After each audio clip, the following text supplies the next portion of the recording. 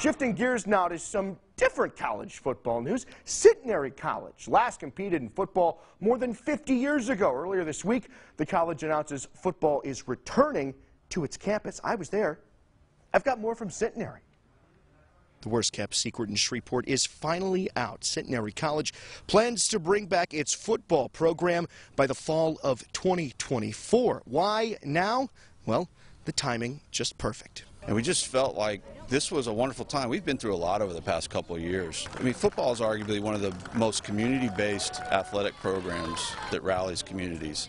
And this was an opportunity for us to be part of that. During a period of time where universities are cutting back, the college announced it's already raised over $1.25 million for the sport of football. You wouldn't start something of this endeavor if you were financially struggling. The strength of Centenary is its people, and its people have kept us in a place financially um, and structurally where we can make this move. Mayo Field will also be the home of the new football program. No independent stadium, no outside field. It's going to be right here on campus.